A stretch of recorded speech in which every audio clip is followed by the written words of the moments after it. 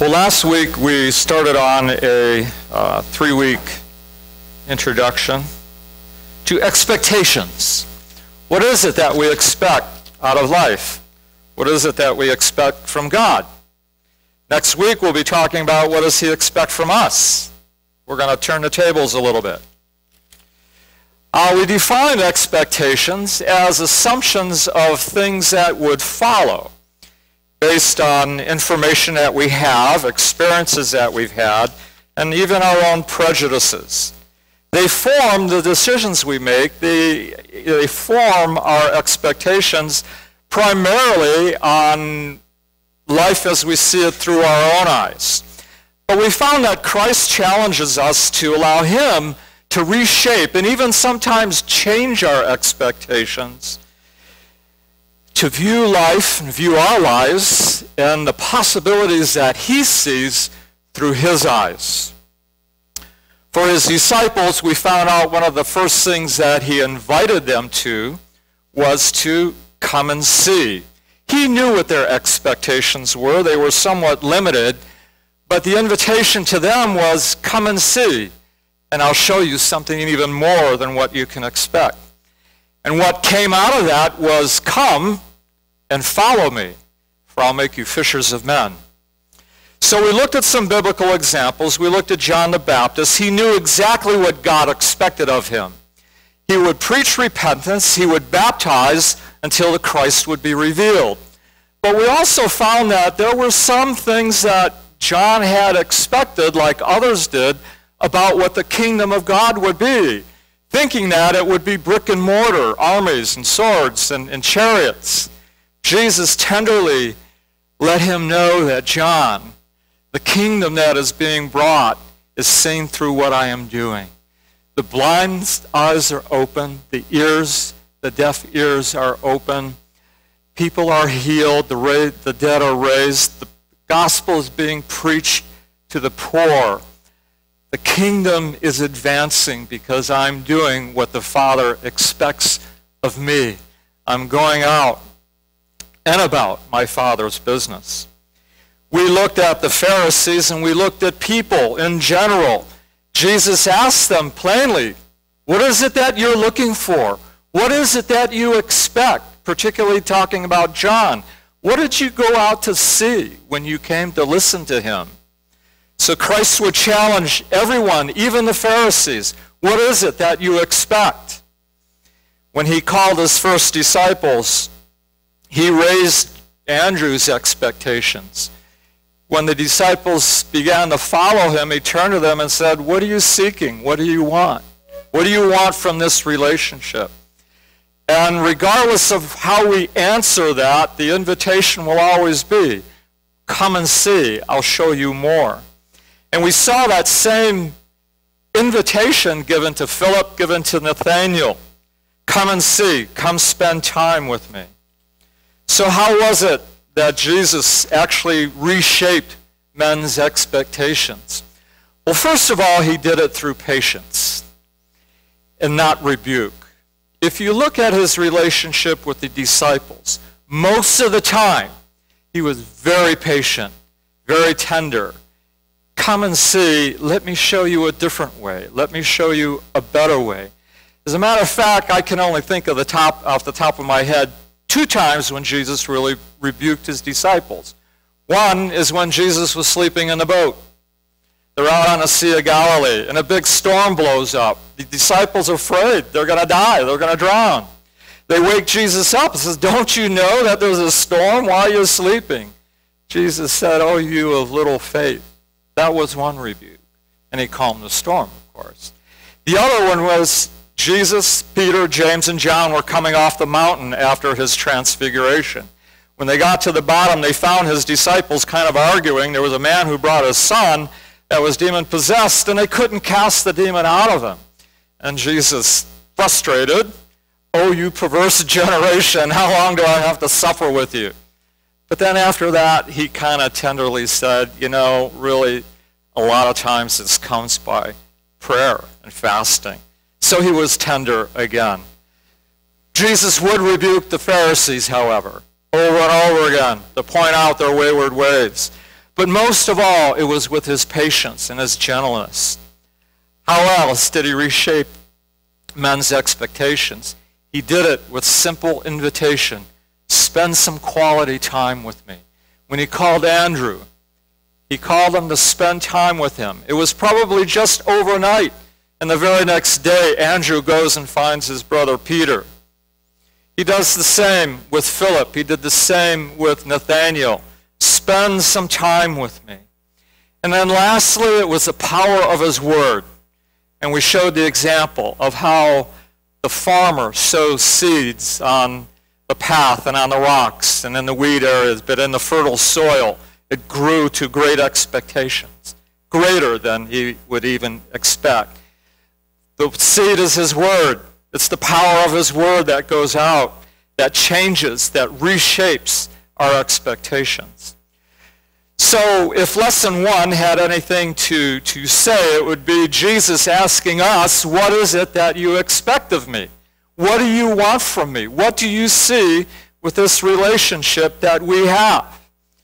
And regardless of how we, how we would answer it, he would still say, well, come and see, spend some time, and let me show you something more than what you can even believe or even more than what you can hope for. So that was last week. This week we're going to be talking about what can we expect out of this relationship with Christ. But let's pray first.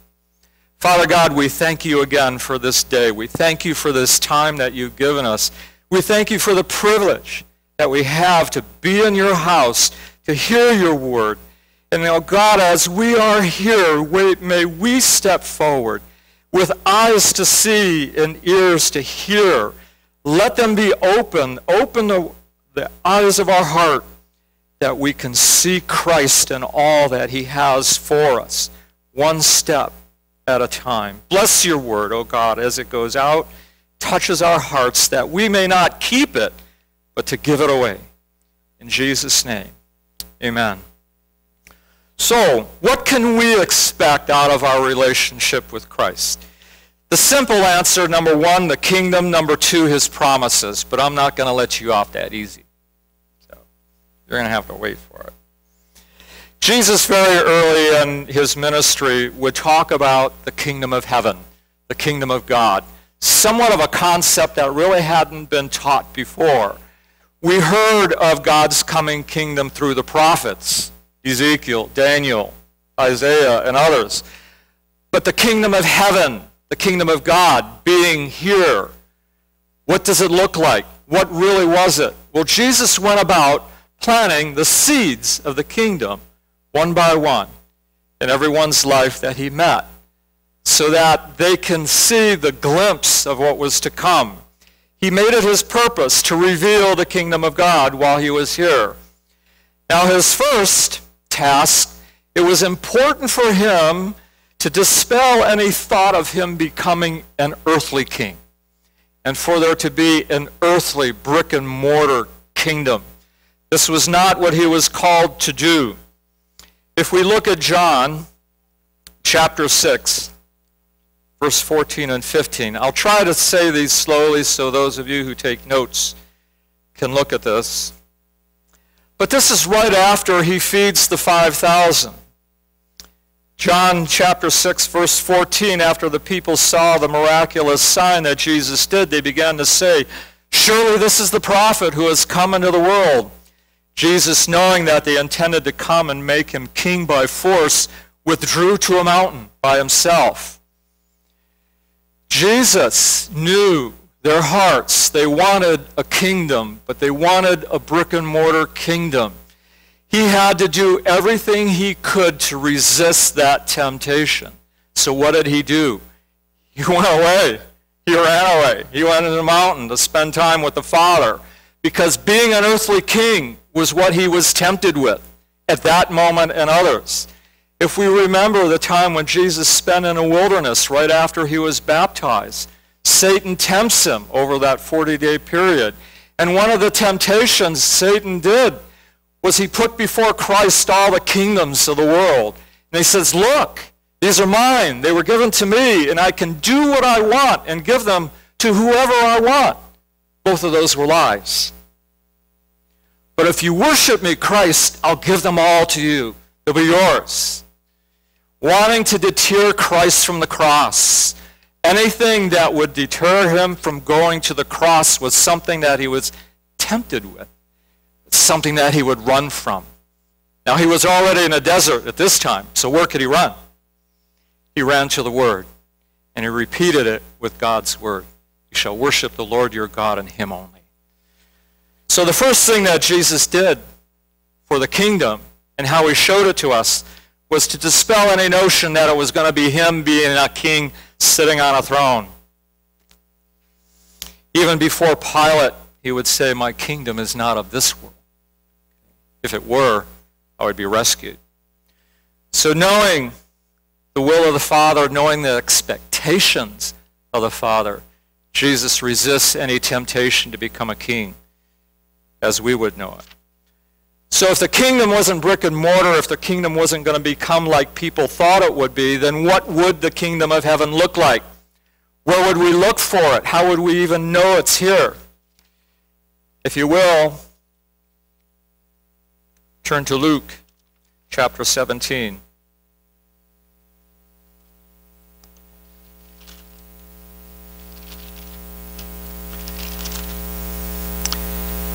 beginning with verse 20.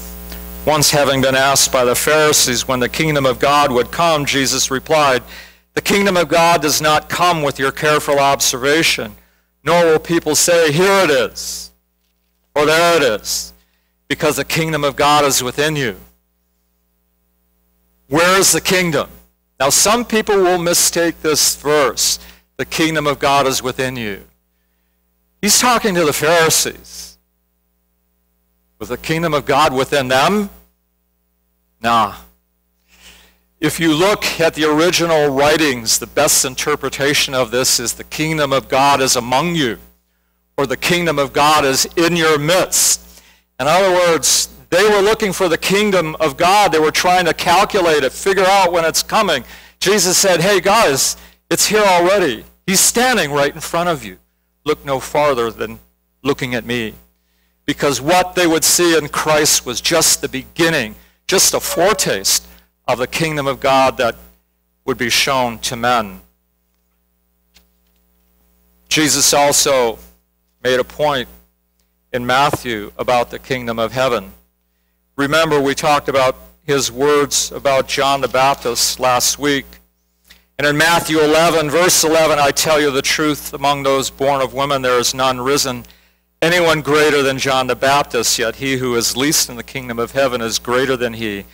From the days of John the Baptist until now, the kingdom of heaven has been moving forcefully and advancing forcefully, and the forceful men lay a hold of it. Guys, Pharisees, people, the kingdom of God is here. It's in me, and I'm going to show it to you little by little, but it's moving fast.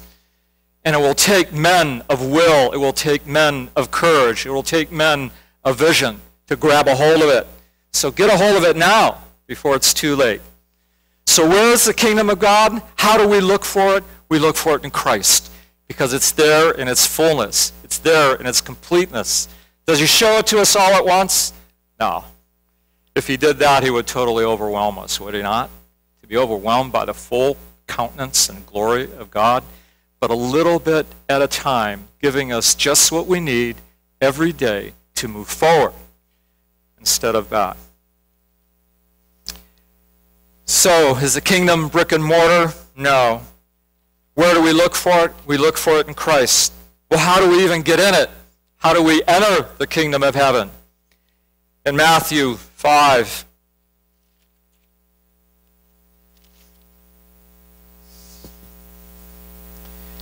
verses 17 through 20. Do not think, he starts with the law. Do not think that I have come to abolish the law or the prophets. I have not come to abolish them, but to fulfill them. I tell you the truth, until heaven and earth disappear, not the smallest letter, not the least stroke of a pen by any means will disappear from the law until everything is accomplished. Anyone who breaks the least of these commandments and teaches others to do the same will be called the least in the kingdom of heaven. But whoever practices and teaches these commands will be called the greatest in the kingdom of heaven. For I tell you, unless your righteousness surpasses that of the Pharisees and teachers of the law, you will certainly not even enter the kingdom. How do we get into the kingdom? It's through righteousness. But it's a righteousness that he would provide, not that the law would provide by its letter. And the Pharisees would follow the letter of the law forever, but they would not follow the spirit of the law. And this was the distinction. If you think you can get into the kingdom through the righteousness established by the law and the righteousness followed and taught by the Pharisees, you're mistaken. It's the righteousness that is only provided through Christ himself. Hope that makes sense. Okay, the kingdom of God. Not brick and mortar, found only in Christ. That's the only place we need to look for it. We enter it only through him. So Jesus would go on to plant more seeds about the kingdom, and he would ask, How can I compare this? Or what can I compare the kingdom of God to? So he begins, if you want, turn to Luke chapter 13. He's talking about the mustard seed and the yeast. Luke chapter 13, verse 18. Jesus asks, What is the kingdom of God like? What shall I compare it to? It's like a mustard seed which a man took and planted in his garden, and it grew and became a tree, and the birds of the air perched in its branches. Again, he asks, What shall I compare the kingdom of God to? It's like yeast that a woman took and mixed into a large amount of flour until it worked its way all the way through. The kingdom of heaven, the kingdom of God, day by day, glimpse by glimpse, piece by piece, would permeate itself through us. The mustard seed. I've never seen one. They say it's small. I've never physically seen a mustard tree. They say they're big and bushy and spread out. The kingdom of heaven, once it's placed in our hearts, will grow like a tree, expanding throughout all of us, every part of our life, not just a little corner that we designate it to, but all of it but we have to allow it. Okay. Just like yeast. Anybody bake bread? Anyone make pizza dough like I try to do? All right. If you want a nice crust that's a little bit thick, you put yeast in your dough.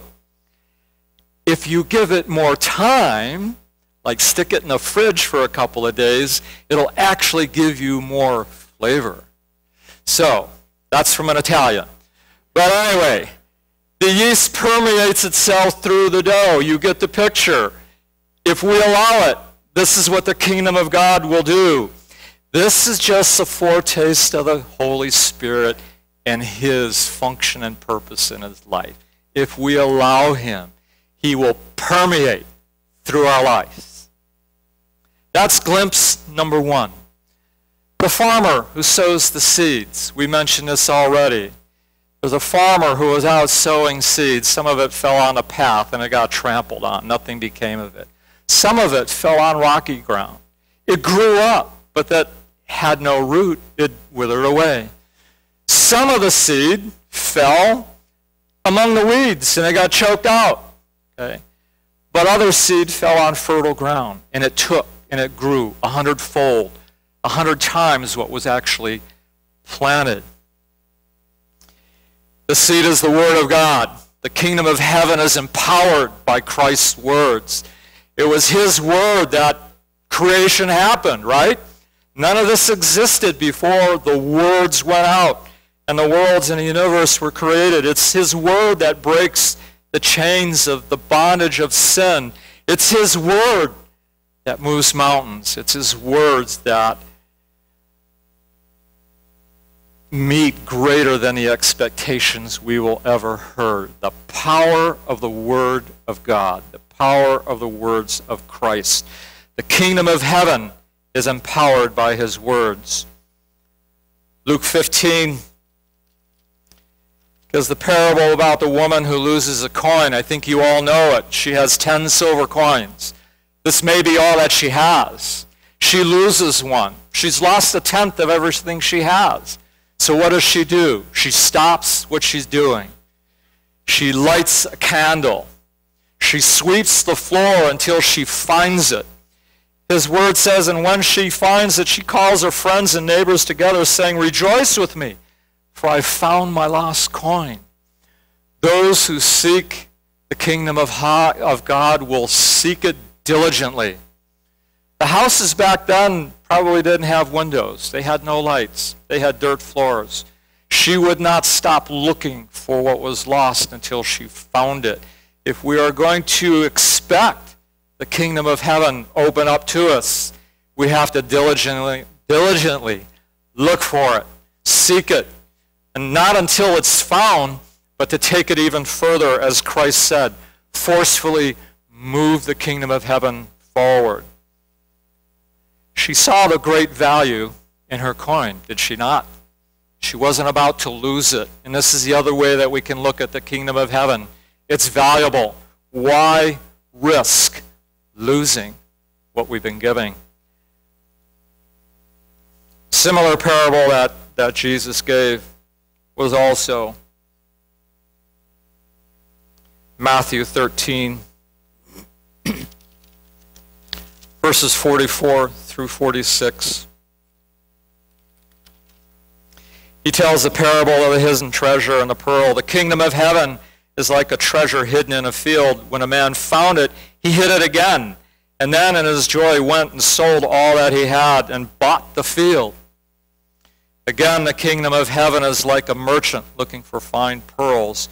When he found one of great value, he went away and sold everything that he had, and he bought it. Again, he's telling us of the value of the kingdom of heaven.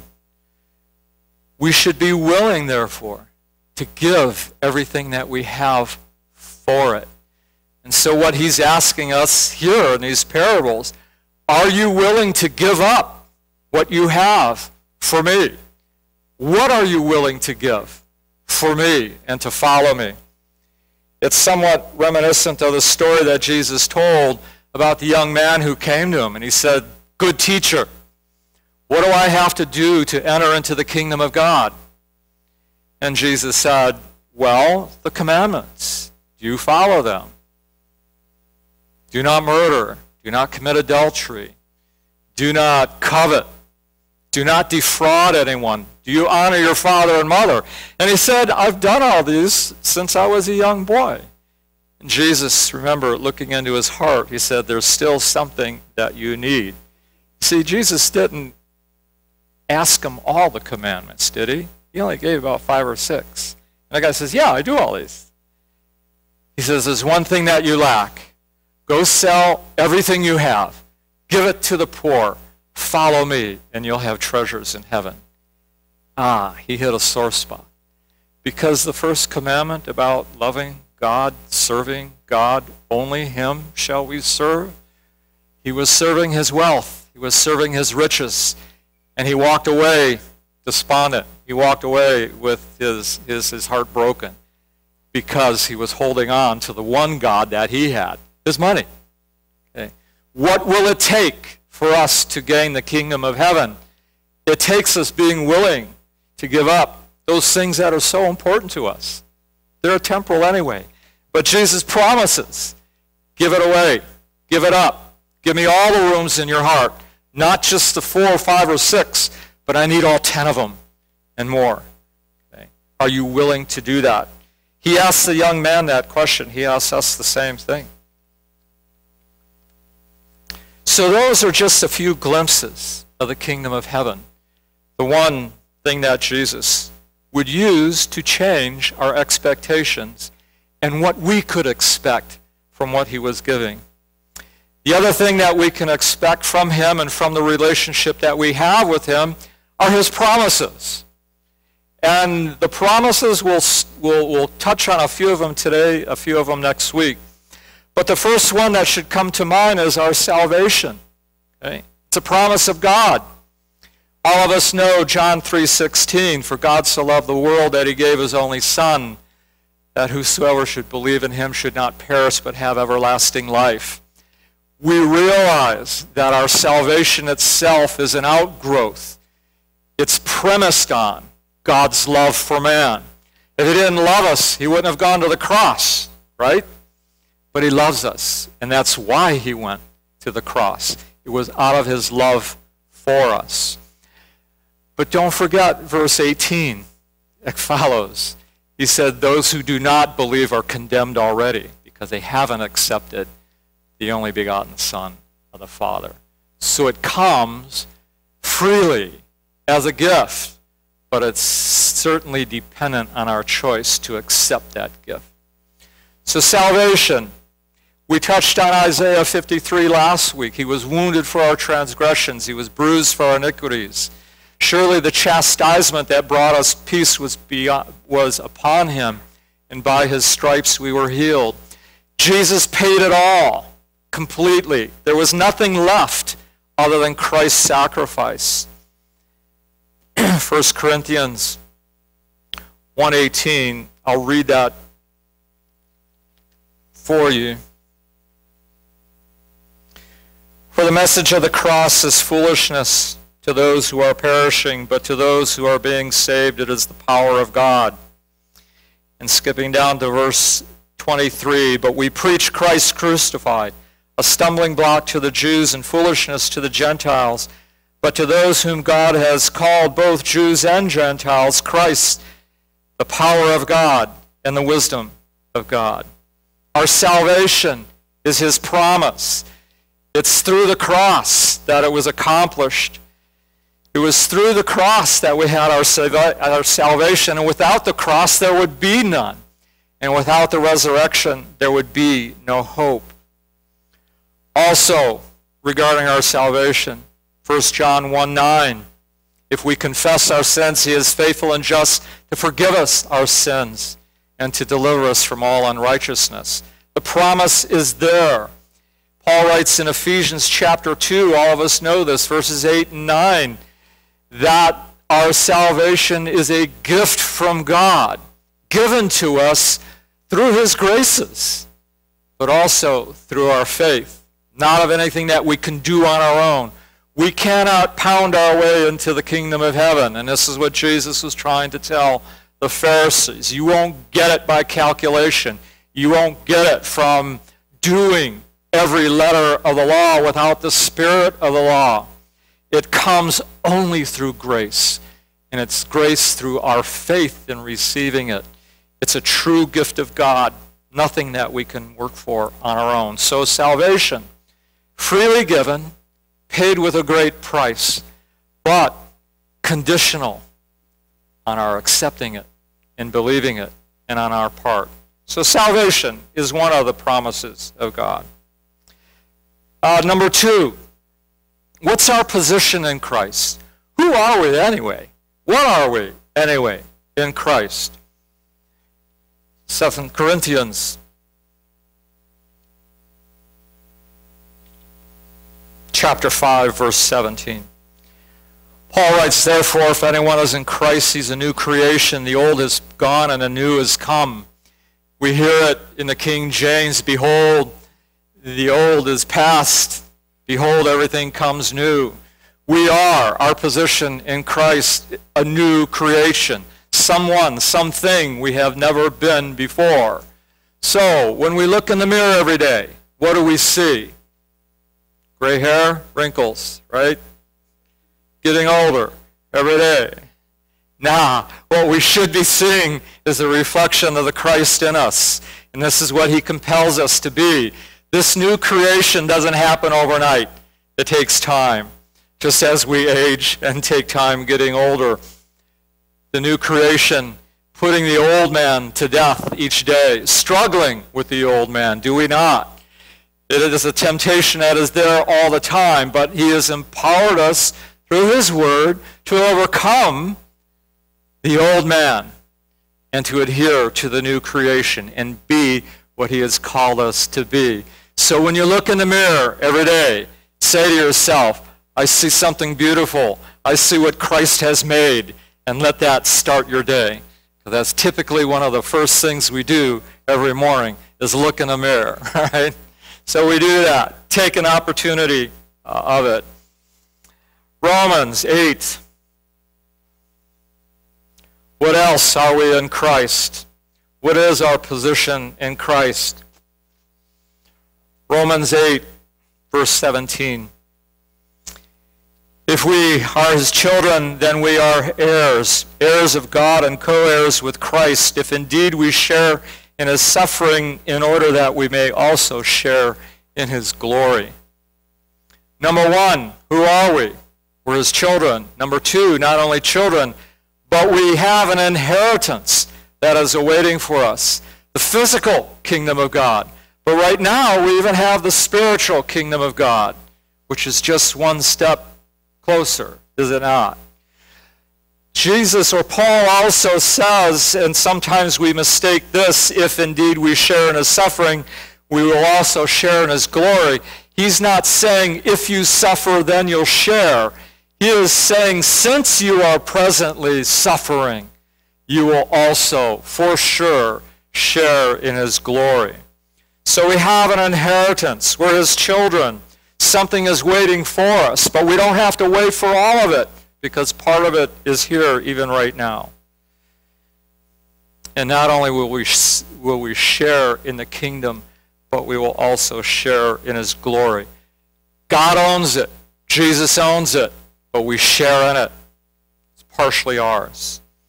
Romans 8, 28 through 31, something again that we all should know or do know. And we know that all things, for we know that in all things God works for the good of those who love him, who have been called according to his purpose. For those God foreknew, he also predestined to be conformed to the likeness of his Son, that he might be the firstborn among many brothers.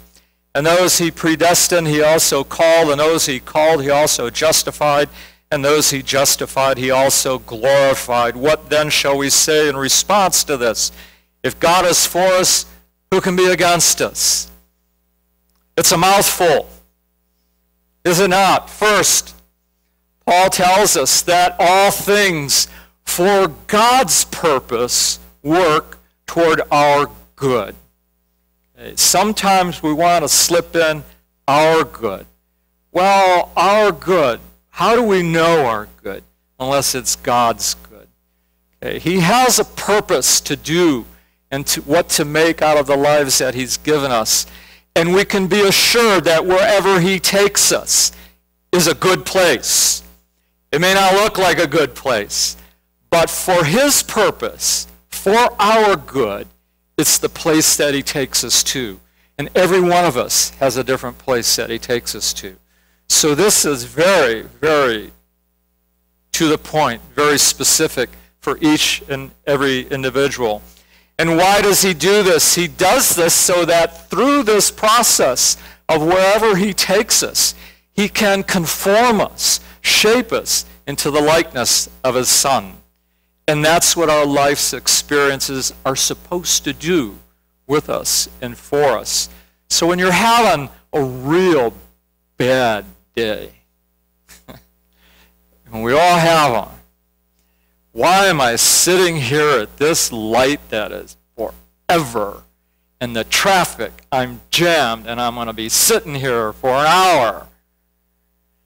Well, turn it into a prayer session, okay? Spend some quality time with the Lord.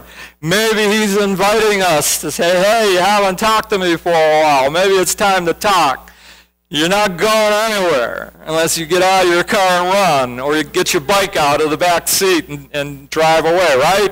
You are here for a purpose. So I just preached to the choir, to the guy who needs it, okay? Because when I'm stuck in traffic, my wife will attest I do not like it, okay?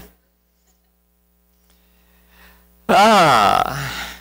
So why does he do this? Why does he take us places that we don't necessarily like to go in life? Okay? He takes it because he knows what we need and what it will take to allow his kingdom to take light in our heart and our life. So he allows some things to happen so that we can become like Jesus. Did not Jesus go through a lot of tough stuff? Yeah. Yeah. Did not Jesus bear everything, every emotion that we go through? Yes. So, why is it so hard for us to realize that? That's because sometimes we don't think about it. But he's doing it for a purpose. It's so that he can mold us, shape us, conform us into the likeness of Christ. What more could we ever expect? What more could we ever even hope for? And lastly, he says, if this is all true, if this is God's de- design for us, that his purpose would be to conform us to be like his son, who can stand in front of us? Only what we let stand in front of us, right? So he empowers us with this word to overcome what tries to block us in becoming what he wants us to be. Lastly, in verses 37 and 38 of that same chapter, chapter 8, Paul goes on to say, Now in all things we are more than conquerors through him who loved us, for I'm convinced that neither death nor life, neither angels or demons, neither the present or the future, nor any powers, neither height or depth or anything in creation will be able to separate us from the love of God that is in Christ our Lord. If we allow it, there will be nothing that can defeat us. There should not be anything that we should allow to take us away from his kingdom. He empowers us to be conquerors. Okay, that made sense to these people. He's writing to the Christians in Rome. What was the power in Rome? It was Rome. They knew what it was to be like or what it was like to be conquered. Even the citizens, as Rome expanded itself, conquered people. Everyone who would read the letter knew what it was like to be conquered, defeated, put down, stepped on, abused. Paul's telling us we don't have to take that because what really matters is what conquers our hearts. And if it's Christ, then we have everything that we need. He makes us more than the people with the swords and the spears and the guns and the missiles and everything else. Why should we fear it? We have something even more powerful than that. And he goes on to say that there's nothing that can separate us from God's love. Wherever we are, we will find it. Paul didn't mention one other thing outer space. We've now been there, right? And maybe, maybe, maybe we're going to go there again. No matter how far, He's there with us. And nothing will separate us from the love of God, regardless of where we are in this universe. So these are the promises of God. Every one of them is true. Are they not? Are they not?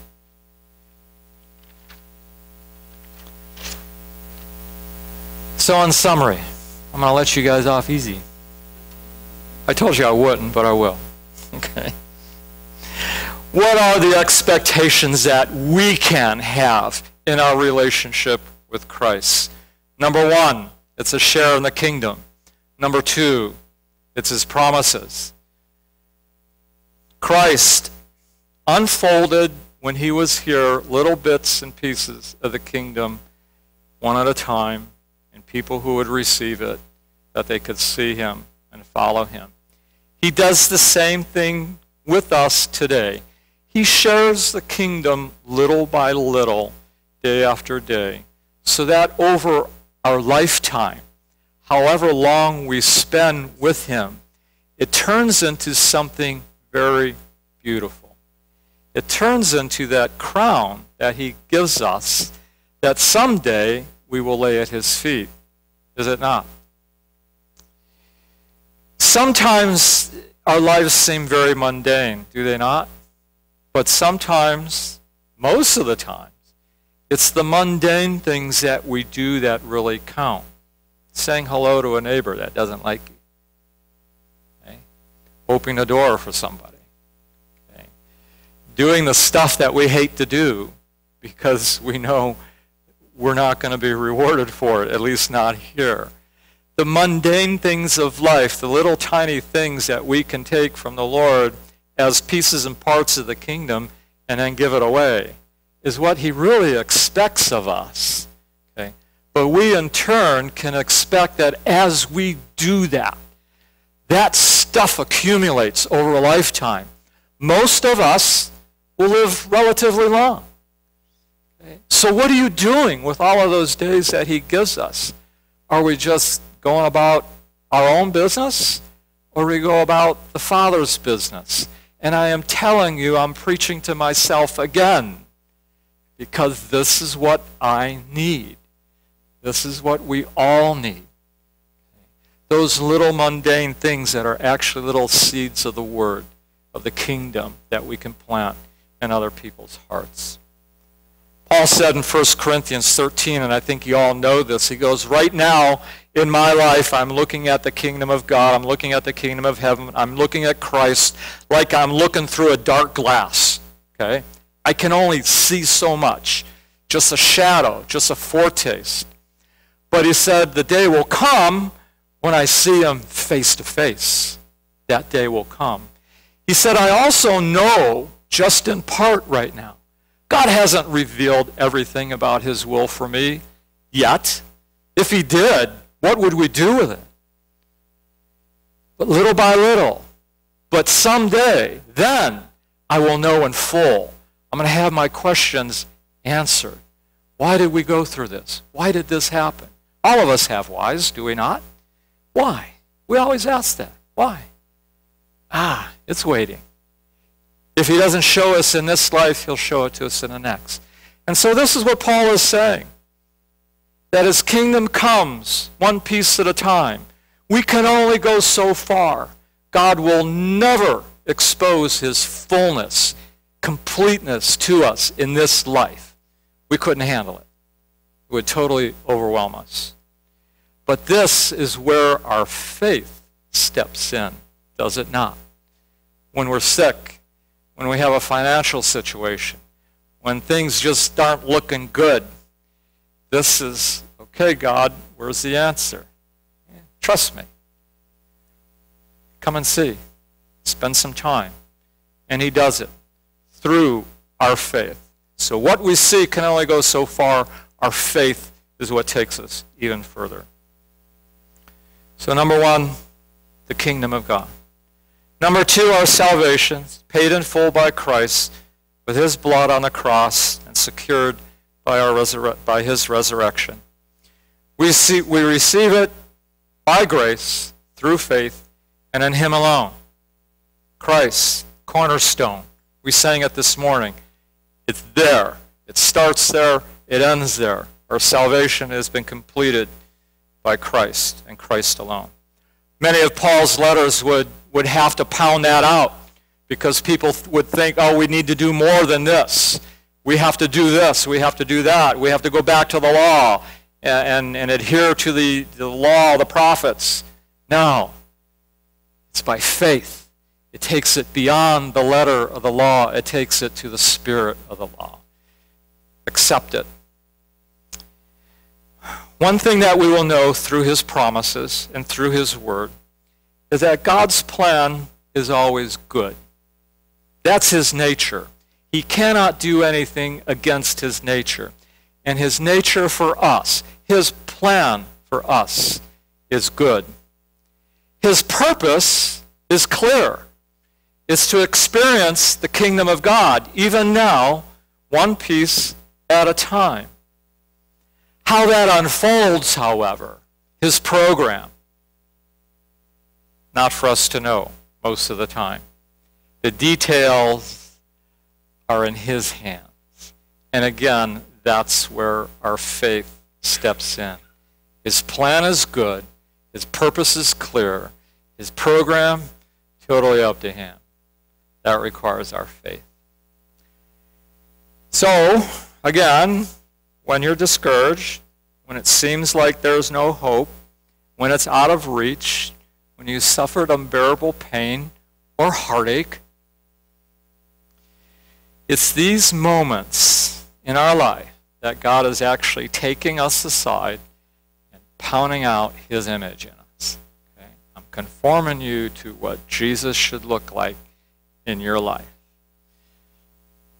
These become then our own stepping stones on our own path, on our own journey to the kingdom of heaven and in the kingdom of heaven. They're all good. They've been planned by God. It's up for us to follow. That's it. Next week, we'll talk a little bit more about his promises, things that we can expect of him and from him. But we'll also look at what he expects of us. Now it's our part. Let's pray. Father, again, we thank you for your word because your word is true. And not only is it true, but it is powerful. And nothing can withstand your words as long as we don't allow it. God, we just pray that we take your words with us each day for the work that needs to be done in our lives and also for what we can pass on to others. Because if they don't see it in us, where will they find it? How will they enter it? How will they know your kingdom for them? It's in Christ's name we pray and we thank you. Amen.